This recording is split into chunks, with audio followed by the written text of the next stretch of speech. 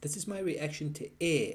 Official trailer. Let's commence. 1984 has been a tough year. Our sales are down, our growth is down. Sonny, I brought you in here Down. to grow the basketball business.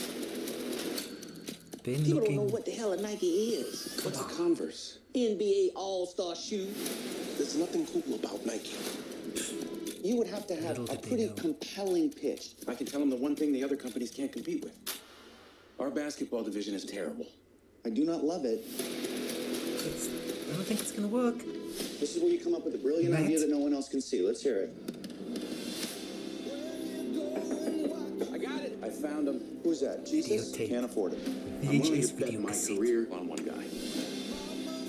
My name's Sonny Vaccaro. I'm with Nike. Do you typically make it a habit of showing up at people's front doors unannounced? I don't like to take no for an answer. Oh, oh, oh man. Here we go. In You trouble ask me what now. I do here. This is what I do. I find you players, and I feel it this time. Yeah, Okay, it's risky. When you were selling sneakers out of the back of your Plymouth, that was risky. Don't change that now. For a rookie Yes. who's never set foot on an NBA court. That's the literal definition of rookie. Yeah. What's the plan? We build a shoe line around just him. I need the greatest basketball shoe that's ever been made. Who's the player? No pressure. Michael Jordan. MJ. I like your haircut, Ben Affleck.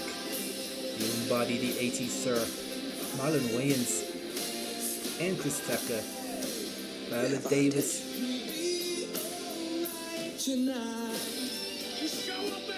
I'll do the robot. I believe in your son. I believe he's Here in the future. 80s rock. And his story is gonna make us want to fly. But the shoe is just a shoe. Until my son steps into it.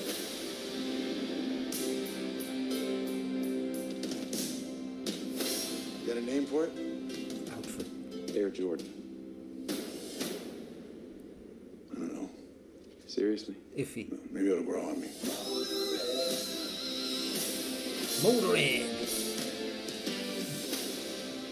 As is well documented on my channel, ladies and gentlemen, I love everything 80s related, and that is well documented in this trailer. We're going back to the 80s, not back to the future, back to the past, ladies and gentlemen, and checking out the story of Sonny Vaccaro, who worked for Nike back in the day and then decided that he was going to hitch his wagon to young NBA rookie Michael Jordan. The rest is freaking history, ladies and gentlemen. Uh, The brand becoming iconic, Air Jordan. We all know the deal, ladies and gentlemen, and this tells us how that came to be. It looks it looks like it will be enjoyable. To be honest with you, the specifics of the story are not known to me. So coming in just completely blind, watching the film, will give us a, a sense, a feeling of how the story went down. I do know Michael Jordan is not depicted as a character in this film, only his parents, ladies and gentlemen. Ben Affleck and Matt Damon on screen again doing their thing together. These two men intrinsically linked in the Hollywood system, ladies and gentlemen coming through together. That moment of triumph back in the day 1997's goodwill hunting putting them both on the map winning them best original screenplay. And here they are many many years later doing the story of how air jordan came to be. Yeah in this movie air courting a legend Along with Matt Damon and Ben Affleck, the film also stars Jason Bateman, Chris Messina, Marlon Wayans, Chris Tucker, and Viola Davis, ladies and gentlemen.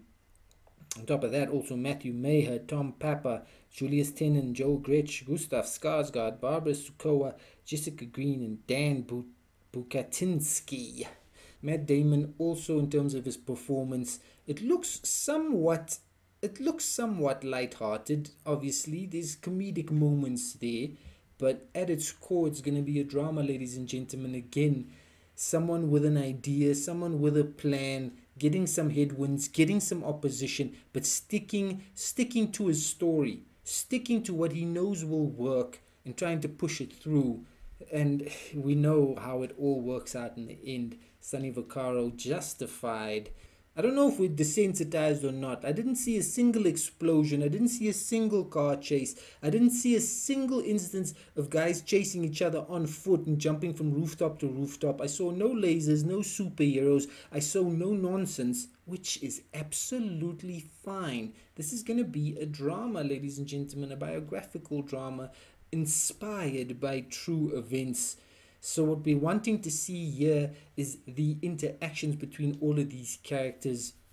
We want to see the journey that our main character goes on, having, you know, trying to save Nike, who at the time, as you saw in the trailer, were distinctly uncool. They needed a hit, they needed something huge to get them up and running again. And Vaccaro provided that. Damon looks like he will embody the character decently enough. Also like the vibes being projected by Ben Affleck. They're a bit aloof, but he's doing his thing. So this looks like it'll be an enjoyable drama, ladies and gentlemen. And that's at the end of the day, that's all you can ask for. Entertainment. You know, whether there's fireworks or not, if there's enough interest, if there's enough interest in the conflicts that we see in the human drama, then anything can still be very enjoyable stuff indeed. I'm pretty sure that Ben Affleck won't leave it up in the air. I'm pretty sure he, along with Matt Damon, will deliver in this one.